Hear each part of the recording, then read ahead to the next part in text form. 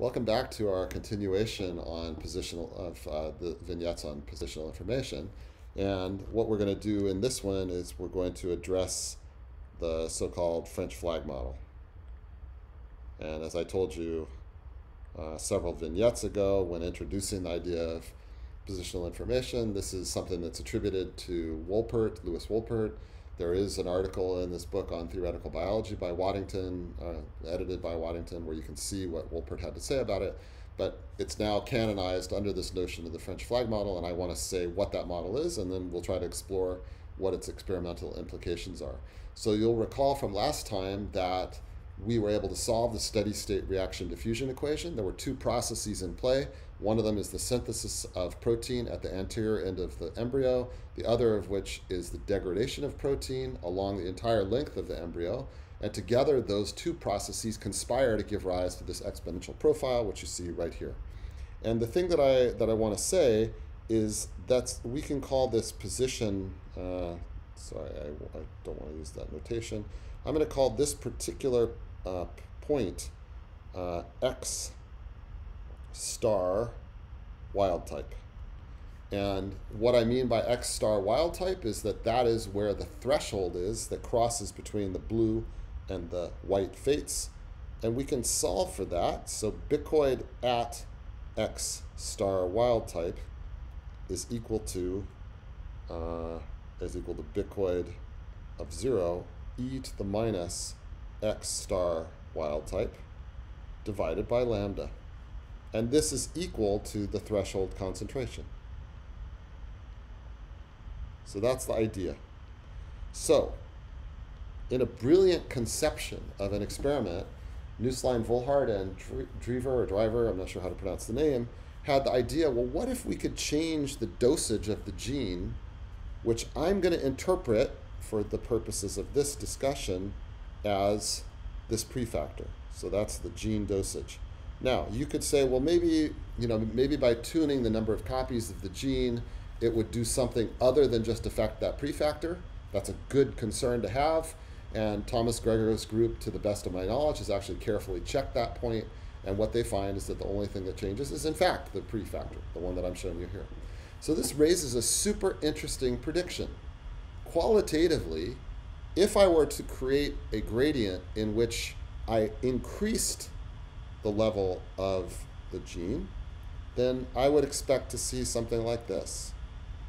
You know, it would still be the exponential profile, but now the threshold would be moved over here. So if I increase the gene dosage, then I expect to move the, grade, the, the threshold and thus the, the marker, for example, in this case, the cephalic furrow, I expect to move it to the right. And I think uh, I might have uh, an example of that for you to look at, uh, which is right here. So notice in these two cases, so this is uh, the gene dosage is this column. So the gene dosage is increased, and that means that the cephalic furrow position moves to the right in correspondence with the intuition that I just described. So that, that seems good. So what we want to do is we want to we want to write down a condition for the position of the cephalic furrow or of any of, of the threshold. So x star mutant is the goal. That's what we want to find. And what I know is that bicoid uh, at x star wild type is equal to bicoid of 0 e to the minus x star wild type divided by lambda. But I know that this has also got to be equal to uh, f times bicoid 0 e to the minus x star mutant over lambda. What is this? This f factor is the gene dosage. So what's the logic of what I'm saying? The logic is that if I actually create a new profile, described by this equation, then it's still, it's still got the same exponential profile, but the magnitude as associated with this prefactor is different, and the result is that there will be a different position, what I'm calling x star mutant. And so our goal is to find x star mutant in terms of the original bicoid of zero. So you know, you could you could think of that uh, this way. So I have an expression which is 1 over e to the x star wild type divided by lambda is equal to f times 1 over e to the x star mutant divided by lambda. How did I do that? I just remembered that e to the minus something is the same as 1 over e to the something. That's all I did. And this tells me that e to the x star mutant divided by lambda is equal to f e to the x star wild type uh, divided by lambda. And now I take the log of both sides. Uh, let me let me be more careful. So log of this quantity is going to be equal to the log of this quantity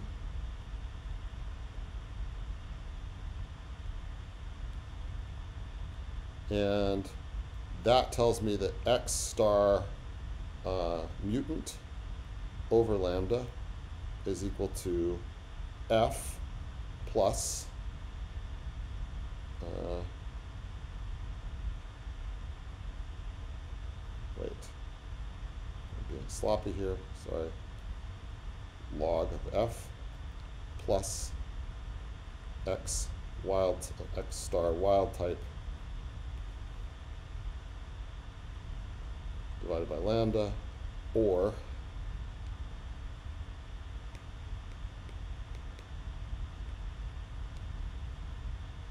uh, I can simplify that to x star mutant is equal to x star wild type plus lambda times log of f, where f is the gene dosage. Let's make sure that qualitatively this does what we expect. f greater than 1 implies that log of f uh, is, is positive, is greater than 0, and therefore we have a shift to the right. If f is less than 1, then that implies that log of f is less than 0, and so we have a shift to the left. How do I know it's a shift to the right or the left? All I'm doing is asking about the sign, you know, the sign that's going to be in, in front. Are we going to take the original position and add something to it or subtract something from it? That's all. If we add something, that means we shift to the right. If we subtract something, we move to the left. So that's the prediction of the French flag model in its sort of most naive incarnation. That's what we've just done. So we've gone through this model. Uh, you know, effectively, what we've thought about was this picture. So I should have shown you this actually, rather than just making my own little drawing. But you know, you can see that there's a wild type and then there's a mutant. In this case, the mutant has a lower gene dosage. So in this case, it's log. Uh, sorry, it's a half, and so that shifts the pattern to the left. And I wanted to just tell you that some the experiments are possible using the trickery and beauty of the molecular biology that's, that's available in the fly, doing various crosses. And so you can tune the gene dosage, and in, in Gregor's group, I think they did all the way from like 0.5 to 6 as the, the range that they considered. And so qualitatively, I already showed you this result, but let's look at it again. So qualitatively, we see that as a function of the number of copies of the bicoid gene, the cephalic furrow position actually is shifting in the, in the right direction. So that's to say qualitatively, it's doing exactly what we would hope. But I really want to close on this note, which is this particular graph, which is an amalgamation of the results from Nusslein Volhard, but also from Thomas Gregor. The Thomas Gregor results are the ones with Bicoid GFP. And what I hope you take away from this is that, you know, the, the, the discrepancy is a quantitative one. Now, I've had discussions with people, and they will say things like it's not surprising, or all models are too simple, or whatever. But I view that as a complete cop out. The data is demanding us to do better. And in a way, if you like, we could say that the, the naive model falls short. And now it forces us to think hard about what the next steps might be, which is the, that there's a second gradient coming from the other end, just to give you one example. you know, there's other things to think about. Maybe the gradient is not uh, in steady state. You know, like there's all these interesting ideas that one can can propose, take the pathetic thinking, turn it into mathematics, and then try to find out what the consequences are, and drill down into understanding this. You know, this leads to philosophical discussions about how should we spend research money, what constitutes a good use of time and resources and energy, and I am of the belief that some subset of those practicing the biological arts need to be trying to dig into uh, making sure that we know what we're talking about in these sort of quantitative settings. Of course, there should be other people that are launching into the complete unknown and making all sorts of interesting and surprising discoveries. And it's a balance of those. I don't think one to the exclusion of the other is is a model to be um, admired at all. So that's the essence of the French flag model as far as where we are now.